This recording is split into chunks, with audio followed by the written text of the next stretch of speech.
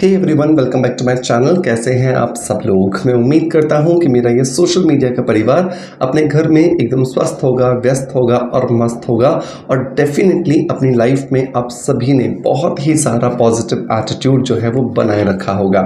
दोस्तों, यही वो पॉजिटिव एटीट्यूड है जो बिना किसी डीआईवाई के, बिना किसी होम रेमेडी के, बिना किसी अच्छी डाइट के आपके चेहरे का जो नूर है ना, वो बरकरार रखता है। और यही जो नूर है, यही जो ग्लो है ना, आपको आगे कामयाबी की तरफ़ बढ़ाने में आपकी मदद करता है। आप बहुत सारे लोगों को देखते होंगे जो बहुत छोटी छोटी परेशानियों के जीवन में आने के बाद बहुत ज़्यादा हताश हो जाते हैं, परेशान हो जाते हैं। लेकिन वहीं पर ही हम कुछ लोग ऐसे भी देखते हैं जो बहुत बड़ी बड़ी समस्याएँ आती हैं, लेकिन अपने आप को वो डिस्टर्ब नहीं होने देते हैं, क्योंकि उनकी जो विल पावर होती है वो बहुत ज़्यादा स्ट्रांग होती है। और यही विल पावर बहुत सारे लोगों को उनकी तरफ़ अट्रैक्ट करती है, क्योंकि यही पॉजिटिविटी जो है, ये आपके और के अंदर एक पॉजिटिव वाइब्रेशंस क्रिएट करती है। सो मेक श्योर परिस्थिति कितनी भी विकट क्यों ना हो, खुद को डिस्टर्ब नहीं करना है। परमात्मा के हाल पर, परमात्मा के भरोसे सब छोड़ दीजिए। डेफिनेटली यकीन मानिए कि हो सकता है शायद जो आपने सोचा हो, जो मैंने सोचा हो, वो ना हो, लेकिन वो ज़रूर होगा जो हमारे लिए अच्छा है। क्योंकि परमात्मा का प्लान अगर है तो डेफिनेटली उस पर संदेह की तो गुंजाइश ही नहीं होती है। दोस्तों, इसी पॉजिटिव एटीट्यूड के साथ हिंदुस्तान में जो फेस्टिवल्स हैं, उनकी शुरुआत हो चुकी है। त्योहारों का जो आगमन है, इस साल में होने लगा है। अब आने वाले हैं नवरात्रे। नवरात्रों के बाद आएगा दशहरा, फिर आएगा करवा चौथ, फिर आएगी दिवाली और शादियों का सीज़न भी स्टार्ट हो जाएगा। इसका मतलब कि हम सभी के अंदर एक वो चाहत जो खूबसूरत दिखने की होती है, जो अपने चेहरे को और ज़्यादा बेहतरीन बनाने की होती है, वो इस समय पर सबसे ज़्यादा चरम पर होती है, सबसे ज़्यादा पीक पर होती है। और इसी समय पर हम अपने चेहरे पर बहुत सारे एक्सपेरिमेंट्स करते हैं। तो एक्सपेरिमेंट्स नहीं करने हैं, जो आज मैं आपको एक D anti ageing skin tightening cream बनाने, बताने वाला हूँ, उसको आपको बनाना है, उसको इस्तेमाल करना है। और आप देखोगे कि ये जो नेचुरल घर में बनने वाली जो ये एक आपकी डीआईवाई क्रीम है, ये आपकी स्किन को 15 से 20 दिनों के अंदर ही अच्छा खासा लिफ्टिंग इफ़ेक्ट देने वाली है। लेकिन शर्त सिर्फ़ इतनी है, जिस तरीके से मैं आपको बता रहा हूँ, उसी तरीके से आपको करना है और इस फॉर्मुलेशन के साथ में किसी भी तरह की छेड़छाड़ नहीं करनी है। क्योंकि हमें से बहुत सारे लोग पता है क्या करते हैं? सर, इसकी जगह ये मिला लूँ, सर, इसकी जगह पर ये कम करके ये ज़्यादा डाल लूँ। प्लीज़ मत कीजिए, क्योंकि जो भी कुछ आपको बताया जाता है, वो ऑलरेडी पहले बहुत सारे लोगों पर ट्राई किया हुआ होता है, उन पर इस्तेमाल किया हुआ होता है। मैं क्योंकि डॉक्टर हूँ तो डेफिनेटली मैं बिना किसी प्रैक्टिस के, बिना किसी ट्राई के आपको कोई भी चीज़ सजेस्ट नहीं करता हूँ। सो मेक श्योर कि अगर आप इस चैनल पर हैं तो जैसा आपको बताया जा रहा है, बिल्कुल वैसा कीजिए। पॉजिटिव एटीट्यूड रखिए पेशेंस रखिए, और आप देखोगे आपको बहुत ही ज़्यादा अच्छे रिज़ल्ट मिलने लगे हैं। मैं हमेशा कहता हूँ दोस्तों कि जिस तरीके से हम बाहर से अपनी स्किन को खूबसूरत बनाने के लिए एजलेस बनाने के लिए ग्लोइंग बनाने के लिए प्रयास करते हैं, बिल्कुल वैसे ही हमें शरीर के अंदर भी प्रयास करने हैं।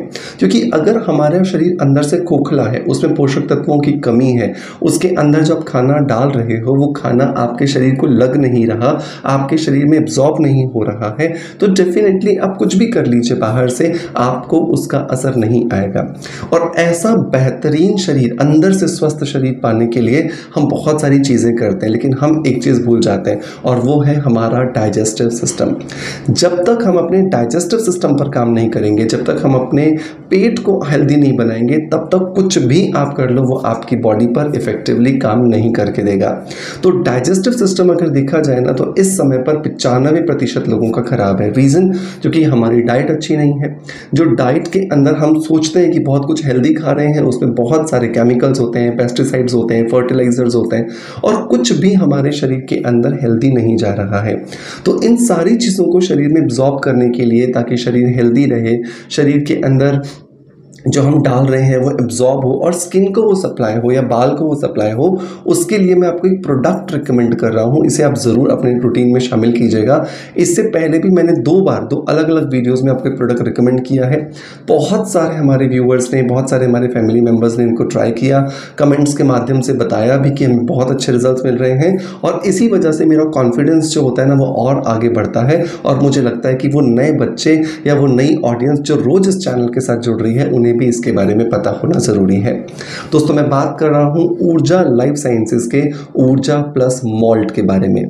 ये ऊर्जा प्लस मॉल्ट जो आप देख रहे हैं ना, ये आयुर्वेदिक कॉम्बिनेशन है, जिसकी वजह से हमारे शरीर का जो डाइजेस्टिव सिस्टम है, वो बहुत ज़्यादा हेल्दी होता है। हमारे शरीर में, हमारे डाइजेस्टिव सिस्टम में जो चीज़ें डालने के बाद भी या जो चीज़ें खाने के बाद भी एब्जॉर्ब नहीं होती हैं, उनके एब्जॉर्प्शन को बढ़ाने में ये हमारी बहुत ज़्यादा मदद करता है। सबसे बड़ी बात यह है कि जो हमारे शरीर में कॉन्स्टिपेशन हो जाता है, या बप्स की, या एसिडिटी की, या ब्लोटिंग की प्रॉब्लम होती है, उसको ख़त्म करने में भी ऊर्जा प्लस का ये जो मॉल्ट है, ये हमें बहुत ज़्यादा हेल्प करके देता है।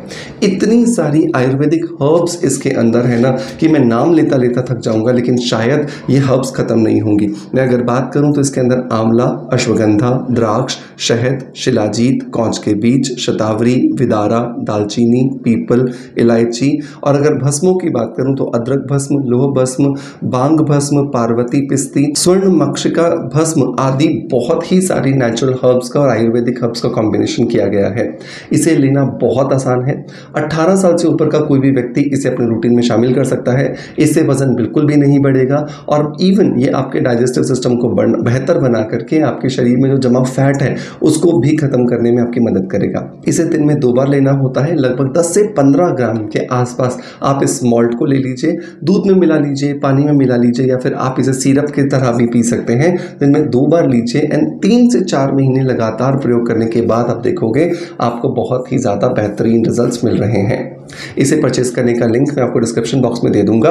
आप जाइए, एक बार इसे स्टडी कीजिए, इसे रीड कीजिए, इसके बाद अगर आपको लगता है कि आप कन्विंस हो रहे हैं, आपके लिए काम का हो सकता है तो डेफिनेटली इसे परचेस करके ट्राई ज़रूर कीजिएगा। दोस्तों इंटरनल ब्यूटी के बाद अब हम लौटते हैं एक्सटर्नल साइड में, जहाँ पर हम बात कर रहे थे डीआईवाई एक एंटी एजिंग नाइट क्रीम के बारे में या ग्लो नाइट क्रीम के बारे में। इसे बनाने के लिए हमें छः इंग्रेडिएंट्स की ज़रूरत होने वाली है। पहला जो इंग्रेडिएंट है, जो कि हीरो इंग्रेडिएंट होने वाला है इस क्रीम का, वो है आलू का स्टार्च आलू का स्टार्च मतलब कैसे निकालेंगे? ये समझने वाली बात है। तो हमें क्या करना है? एक मीडियम साइज़ का आलू ले लेना है। इस मीडियम साइज़ के आलू को हमें ग्रेट कर लेना है, कद्दूकस कर लेना है और कद्दूकस करने के बाद में हमें इसे निचोड़ लेना है। जब हम इसे अच्छे से निचोड़ लेंगे, इसका जूस निकल करके कटोरी में आ जाएगा। लेकिन इस जूस को जब आप एक घंटे के लिए छोड़ दोगे तो जूस ऊपर तैरने लगेगा और नीचे बैठ जाएगा आलू का स्टार्च यही इस क्रीम का एक हीरो इंग्रेडिएंट है, जो कि हमारी स्किन को ग्लो भी देगा हमारी स्किन को टाइटनिंग प्रॉपर्टीज़ भी देगा और हमारी स्किन के अंदर जो पिगमेंटेशन आ गया है डार्क सर्कल्स आ गए हैं, या जो फाइन लाइंस आ गई हैं, या जो फ्रैकल्स आ गए हैं, या जो अनइवन स्किन हो गई है, उसको ख़त्म करने में भी हमें मदद करेगा। तो ये जो आलू का स्टार्च हमने निकाला है, ये हमें लेना है लगभग दो चम्मच के आसपास। तो एक मीडियम साइज़ का अगर आप आलू कद्दूकस करके जूस निकाल के स्टार्च बनाओगे तो दो चम्मच स्टार्च आपका आसानी से आ जाएगा। दूसरा इंग्रेडिएंट जो दोस्तों इसके अंदर हमें ऐड करना है, वो है इस क्रीम का बेस मतलब कि एलोवेरा जेल तो जितना हम स्टार्च डाल रहे हैं, उसका दो गुना हमें यहाँ पर एलोवेरा जेल ऐड करना है. मैं हमेशा कहता हूँ कि एलोवेरा जेल आप प्लांट बेस्ड मत यूज़ करो, क्योंकि जो प्लांट बेस्ड होता है, वो ज़रूरी नहीं है कि वही वैरायटी हो जो स्किन पे लगाने के लिए सूटेबल होती है. इसी वजह से बहुत सारे लोग हमें कंप्लेन करते हैं कि, सर, मैंने एलोवेरा लगाया था प्लांट से और मेरी स्किन में एक्ने आ गया मेरी स्किन में सेंसिटिविटी हो गई, मेरी स्किन रेड हो गई। कारण, क्योंकि जो घर में लगा एलोवेरा है, वो बिल्कुल ज़रूरी नहीं है कि वो वही हो जो स्किन के लिए सूटेबल है। तो ऐसी कंडीशन में रेडीमेड आप एलोवेरा जेल लीजिए, लेकिन वो ऑर्गेनिक होना चाहिए। मैं अमेज़ोन से लेने का आपको उसका लिंक भी दे दूँगा। तो दो चम्मच स्टार्च आलू का, चार चम्मच एलोवेरा जेल लिया है। तीसरी जो चीज़ दोस्तों हम यहाँ पर ले रहे हैं, वो है केसर। देखो, केसर महँगा है, मैं मानता हूँ इस बात को, लेकिन इतना महँगा नहीं है कि हम अफोर्ड नहीं कर सकते हैं। अगर आप पचास रुपए की या सौ रुपए की एकदम छोटी सी डिब्बी भी खरीदोगे ना केसर की, और उसके चार धागे भी अगर आपने इस क्रीम को डाल दिए या इस क्रीम में मिला दिए तो इस क्रीम की जो वैल्यू है ना, वो दोगुना बढ़ जाती है। और हम सब लोग कई हज़ारों रुपए के कॉस्मेटिक प्रोडक्ट्स खरीदते हैं। बाथरूम्स में बहा देते हैं वेस्ट कर देते हैं, फेंक देते हैं, क्योंकि रिजल्ट्स नहीं मिलते। और केसर का जब नाम आता है तो नीचे कमेंट लिखना शुरू कर देते हैं, सर इसे स्किप कर सकते हैं क्या? अरे मत कीजिए ना। आपकी दादी ने, नानी ने, मम्मी ने सबने बोला है कि केसर जो है, वो आपकी स्किन के कलर को बेहतर बनाने में आपकी मदद करता है। केसर का दूध पीजिए, केसर को अपने खाने पीने की चीज़ों में ऐड कीजिए। चलिए, वो तो दूर की बात है, लेकिन एटलीस्ट इस क्रीम में चार धागे केसर के डाल दीजिए। केसर का या केसरिया रंग, केसरिया इफ़ेक्ट जब आपके चेहरे पर आएगा ना तो आपकी रंगत एकदम निखर करके आ जाएगी। नंबर चार इंग्रेडिएंट जो चाहिए दोस्तों, वो चाहिए दो से तीन चुटकी हल्दी। हल्दी हम सब जानते हैं कि एंटी बैक्टीरियल होती है एंटी माइक्रोबाइल एजेंट्स होते हैं उसमें। और ये जो मौसम चल रहा है ना, जब हम बारिश से गर्मी की तरफ़ शिफ्ट हो रहे हैं, सर्दी की तरफ़ शिफ्ट हो रहे हैं, जहाँ पे एक्चुअली मौसम कैसा रंग बदल लेगा हमें पता ही नहीं है।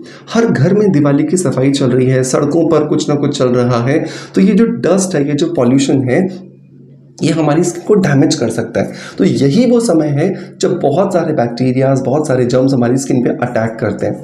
तो हमें बहुत ध्यान रखना है कि हल्दी को तो स्किप करना ही नहीं है। और नॉर्मल हल्दी की जगह पर अगर कस्तूरी हल्दी डाल दो तो कहना ही क्या? तो मज़ा आ जाएगा। नंबर पाँच जो इंग्रेडिएंट दोस्तों, इसके अंदर हमें डालना है, वो है दो कैप्सूल्स विटामिन ई के। विटामिन ई e जो है वो यहाँ इसलिए हम ऐड कर रहे हैं क्योंकि विटामिन ई e हमारी स्किन को एंटी एजिंग प्रॉपर्टीज़ देता है और इस समय पर जो हमारी स्किन थोड़ी सी ड्राइनेस की तरफ़ फील होती है उस ड्राइनेस को भी ख़त्म करने में हमारी मदद करता है। सो so, बहुत ज़्यादा ज़रूरी है विटामिन ई e के कैप्सूल्स को डालना इसे हमें स्किप नहीं करना है। नंबर छः और नंबर लास्ट जो इंग्रेडिएंट है दोस्तों वो है ग्लिसरीन ग्लिसरीन जो है वो एक ऐसा इंग्रेडिएंट है जो हमें बहुत ज़्यादा मदद करता है स्किन को नमी दे के रखने में। क्योंकि नमी ही तो है जो हमारी एज बढ़ने के साथ साथ हमारी स्किन से कहीं खो जाती है। और यही नमी अगर हमारी स्किन में बरकरार रहे तो इसकी वजह से हमारे चेहरे का जो प्लम्पीनेस है, वो मेंटेन रहता है। स्किन की जो एजिंग प्रोसेस है, वो डिले हो जाती है। और हम जैसे दस साल या बारह साल या पंद्रह साल पहले दिखाई देते थे, उतने ही खूबसूरत हम दिखाई दे सकते हैं। तो एक चम्मच हम यहाँ पे ग्लिसरीन ऐड करने वाले हैं। मैं सारे इंग्रेडिएंट्स फिर से रिपीट कर रहा हूँ। दो चम्मच हमने आलू का बना हुआ स्टार्च लिया है। उसका दो गुना मतलब चार चम्मच हमने यहाँ पे ऑर्गेनिक एलोवेरा जेल डाला है। लगभग चार धागे हमने यहाँ पे केसर के डाले हैं। दो से तीन चुटकी यहाँ पे हमने हल्दी का ऐड किया है। अगर नॉर्मल हल्दी की जगह पे कस्तूरी हल्दी मिल जाए तो ज़्यादा अच्छा होगा। नंबर पाँच हमने दो कैप्सूल यहाँ पे विटामिन ई के डाले हैं और नंबर छः हमने यहाँ पर एक चम्मच ग्लिसरीन डाला है। मिलाइए इन सारी चीज़ों को और लीजिए आपकी बेहतरीन glowing skin anti ageing cream बनकर के तैयार है, जिसे आपको रोज़ रात को चेहरे पर लगाना है और 10 मिनट मसाज करने के बाद स्किन में जज्ब हो जाने देना है मतलब स्किन में एब्जॉर्ब हो जाने देना है। जितना ज़्यादा आप अच्छे से मसाज करके इसे स्किन में एब्जॉर्ब कराओगे, उतना ज़्यादा अच्छे रिजल्ट्स आपको यहाँ पर मिलने वाले हैं। सो मेक श्योर अच्छे से मसाज कीजिए और जब आप मसाज कर रहे हो, आपके स्टेप्स अपवर्ड होने चाहिए आउटवर्ड होने चाहिए, ताकि आपकी जो मसल्स हैं, उनके जो ओरिजिन है इंसर्शन है, उस डायरेक्शन में आप काम करो और आपकी स्किन को एंटी एजिंग जो रिज़ल्ट हैं, वो भी मिल सकें। तो इस क्रीम को बना के कितने दिन रखेंगे? लगभग सात से दस दिन। उससे ज़्यादा आपको ये क्रीम नहीं बनाना है। हर सात दिन बाद या हर दस दिन बाद आपको इसे रिपीट करना है। नंबर दो, आप इसे बना करके रेफ्रिजरेटर में ही रखोगे, बाहर नहीं रखोगे। नंबर तीन स्टोर करने के लिए आप कोई भी मेटल का बर्तन इस्तेमाल नहीं करोगे। मतलब स्टील का एल्यूमिनियम का, ऐसा कोई बर्तन नहीं लोगे। बेहतर होगा कि आप कांच की जो बर्नी रहती है, कांच की जो छोटी डिब्बी रहती है, वो यूज़ करो। वो नहीं है तो प्लास्टिक यूज़ करो बट मेटल करने पर इसके अंदर जो इंग्रेडिएंट्स हैं, वो थोड़े से कंटामिनेटेड हो जाते हैं और आपकी क्रीम के रिजल्ट्स कम हो जाते हैं। दोस्तों, मैं उम्मीद करता हूँ कि आज का वीडियो कंटेंट डेफिनेटली आपको पसंद आया होगा। इस क्रीम को बनाइएगा। ट्राई कीजिएगा और ट्राई करने के बाद कमेंट्स के माध्यम से हमें अपना फीडबैक ज़रूर दीजिएगा। आपका प्यार आप हमें जैसे देते आए हैं बिल्कुल वैसे ही देते रहेंगे। इसी आशा के साथ आप चल विदा लेता। आपका knowledge friend doctor Manoj thank you so much bye love you all